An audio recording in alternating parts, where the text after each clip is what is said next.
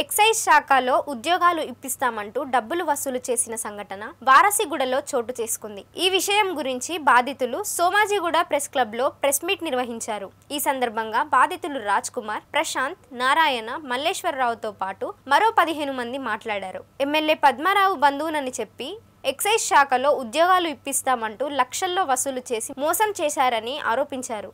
ఇప్పటికే పోలీసులకు ఫిర్యాదు చేయడం జరిగిందని మోసం చేసిన శ్రీనివాస్ రెడ్డిపై అధికారులు తక్షణమే చర్యలు తీసుకోవాలని కోరారు. నేను ఒకటే చెక్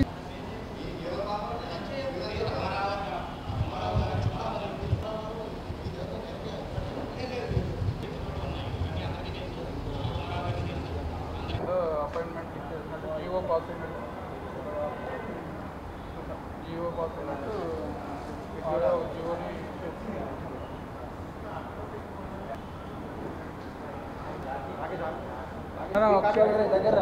దాంట్లో సోమేష్ కుమార్ ఉందండి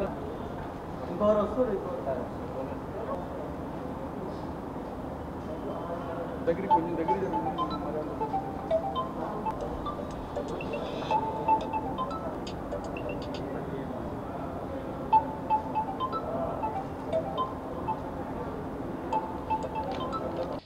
ఎక్సైజ్ డిపార్ట్మెంట్లో ఉద్యోగాలు ఇప్పిస్తామని డబ్బులు పోగొట్టుకొని మానసికంగా క్షోభపడుతూ ఇంట్లో కొంతమంది ఆర్థిక పరిస్థితి కూడా చాలా దారుణం అయిపోయింది మా బావగారు ఆయన మధ్యతరగతి కుటుంబీకుడు. మధ్యతరగతి ఫ్యామిలీ అంటే ఎట్లా ఉంటుందో మీకు తెలియదు కాదు. కష్టపడితే కానీ పైసా పైసా కూడిస్తే కానీ పని అవ్వదు. మా బావగారికి ఇద్దరు అమ్మాయిలు. పెద్ద అమ్మాయికి తను ఆల్రెడీ ఒక ప్రైవేట్ జాబ్ చేస్తుంది. అది మానిపించేసి ఎందుకమ్మా ఈ కష్టం అంతా గవర్నమెంట్ జాబ్ జాబ్ ఇప్పిస్తాము అని చెప్పి అది మోసపోయామా? లేకపోతే మోసగించబడ్డామా? ఆ తర్వాత విషయం.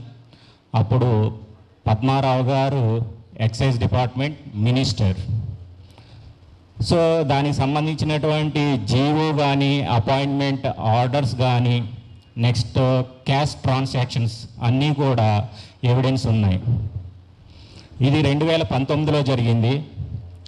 సో పద్మారావు గారు వారాసి కూడా వారసులు కాబట్టి మా బావగారు ఆయన్ని చాలా దగ్గరగా చూశారు కాబట్టి ప్రతి విషయాన్ని పద్మారావు గారి దగ్గరికి తీసుకెళ్ళలేము కష్టం కూడా. ఆయన బావమరిది గారు శ్రీనివాస్ గౌడ్ అండ్ వినోద్ అలియాస్ బబ్లు. వీళ్ళిద్దరూ జాబులు ఇప్పించడంలో జాబులు ఇవ్వటంలో మాది భరోసా. మేము మీకు ఉద్యోగాలు ఇప్పిస్తాము అని చెప్పి భరోసా ఇచ్చి ఆ డూప్లికేట్ ఒరిజినల్లా అవి జీవోలు బయటికి రావటం అంటే మామూలు విషయం కాదు. అపాయింట్మెంట్ లెటర్స్ అది ఒరిజినల్లా డూప్లికేటా అన్నది అది సంబంధం కాదు. నా పేరు ప్రశాంత్. మా వద్దకి శ్రీనివాస్ గౌడ్ అనే వ్యక్తి వచ్చి ఇట్లా పద్మరావు అనే మా బావ అని చెప్పి ప్రభుత్వ ఉద్యో- ఉద్యోగం ఇప్పిస్తా అని చెప్పి ఎక్సైజ్ డిపార్ట్మెంట్లో నా దగ్గర ఇంకా మరి కొంతమంది దగ్గర పన్నెండు లక్షలు తీసుకున్నారు. దీని మీద మేము చిలకలూడ పోలీస్కి వెళ్తే పోలీస్ స్టేషన్కి వెళ్తే కూడా వాళ్ళు చెప్పినది ఏంటంటే మీరు ఎట్లా ఇస్తారు ఎట్లా అవుతుంది మీతోటి అని చెప్పి మాతోటి కొంచెము డిస్కషన్ చేసిన తర్వాత వాళ్ళు ఏమన్నారంటే కంప్లైంట్ ఇచ్చి వెళ్ళండి అని చెప్పి చెప్పినారు. మేము దాని తర్వాత శ్రీనివాస్ గౌడ్ వాళ్ళ ఇంటికి వెళ్తే వాళ్ళ మిస్సెస్ అంటున్నది దీని వెనకాల చాలామంది ఉన్నారు చాలామంది చేతులు కూడా ఉన్నాయి వాళ్ళని కూడా వాళ్ళని వెళ్ళి అడగను అని చెప్తుంది తను. కేసు తీసుకోలేదు నేను పెట్టలేదు. అనీష్ అనే వ్యక్తి త్రీ మంత్స్ కింద కేసు ఫైల్ చేసినారు.